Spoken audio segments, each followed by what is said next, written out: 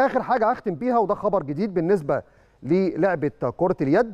آخر مباراتين في الدوري الموسم الماضي تم تأجيلهم إلى 28 و29 نوفمبر بعد ما كان قرر الاتحاد المصري إن المباراة تقام 12 و13 نوفمبر. آخر مباراتين بنتكلم على إن الأهلي هيلاعب الجيش والزمالك هيلاعب سبورتنج والمباراة الختامية الأهلي والزمالك. المباريات اتأجلت لمدة أسبوعين بالنسبة للفترة الجاية ونفس الأمر عندهم برضو بسبب موضوع القيد لكن الاتحاد المصري لكرة اليد مد المباريات لمدة أسبوعين قادمين.